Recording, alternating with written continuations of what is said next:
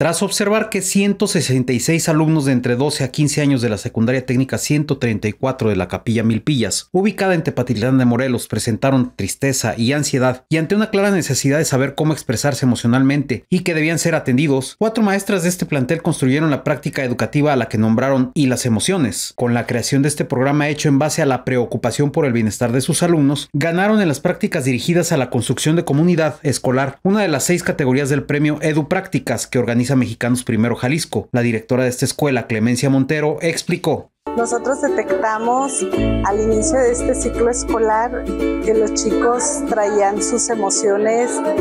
pues alteradas después de estar en casa trabajando año y medio por la pandemia. La práctica partió de un diagnóstico socioemocional en la que se detectó que el 60% de los estudiantes poseían una necesidad clara en la resiliencia de sus emociones a través de 10 sesiones en las que con diversas dinámicas lúdicas que involucraban la escritura y las manualidades como un diario de emociones se generó un cambio positivo en su actitud a la vida. Las maestras Clemencia Montero, Sofía Fonseca, Blanca Morales y Alejandra Herrera trabajaron en conjunto con las familias orientándolas para que acompañen a sus hijos en el proceso de identificar, reconocer y regular emociones y tener así un crecimiento ante los retos emocionales. Jaime Alberto Tinoco, Jalisco TV Noticias.